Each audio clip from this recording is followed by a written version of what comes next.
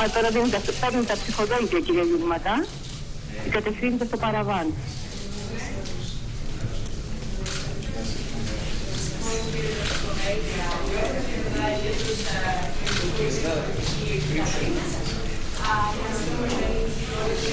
Πάει στο παραβάν με την κόρη της. Είναι μαζί με, τη, με την κόρη της, ναι.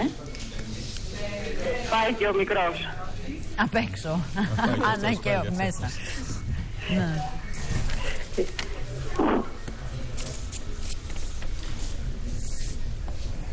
και σύντομη η εκλογική διαδικασία, γιατί δεν έχουμε και σταυρό προτίμηση σε αυτές τις εκλογές, καθώς γίνονται με λίστα.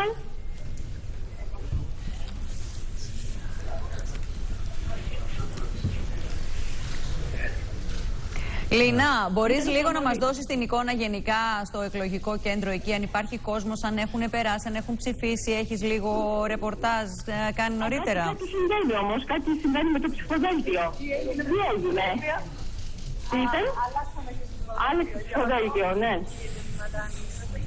Είχε κάποιο πρόβλημα.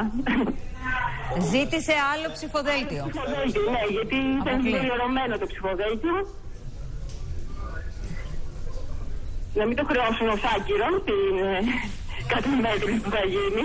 Οπότε άλλαξε ψηφοδέλτιο, κύριε Γερηματά. Από το κοντρόλ μας λένε ότι ένα πρόβλημα με το ψηφοδέλτιο είχε και ο κύριος Θεοδωράκης νωρίτερα, ψηφίζοντας στα Χανιά, στη Χαλέπα. Ε.